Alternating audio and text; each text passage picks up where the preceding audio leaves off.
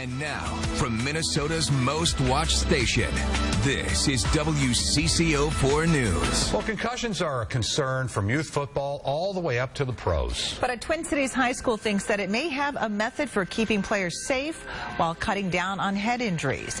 As John Lauritsen shows us, it's a new protocol that could turn into a big win for player health.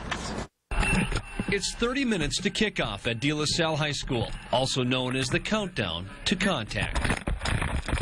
The Islanders are wearing their usual black helmets, but inside those helmets is something new. When it blinks green, that means it's fully charged and ready to go. Head coach Sean McMenemy has a new pregame ritual. Installing what are called head case impact sensors inside his players' helmets. What it does is that it holds a file folder with every hit that kid has always had. Using 3M tape, the sensor is placed between the hard plastic of the helmet, and the sensor is connected to a phone app that notifies coaches every time a player takes a big hit. They measure the G-force of every hit to the helmet, from light taps to big collisions. And if the hit is big enough, the sensor lets the coaches know. What it does, it just helps us monitor big hits and say, hey, you know what, uh, you know, Steve just got a, you know, just just took a big hit to his head.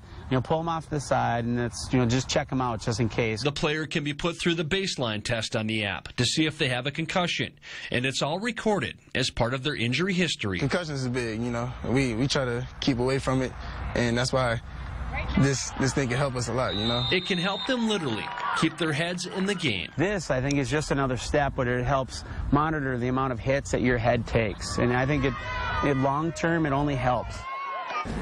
The team received the sensors last week, and De La Salle is one of only 13 schools in the nation using this technology right now. De La Salle is part of a trial program, so there's no cost to the school.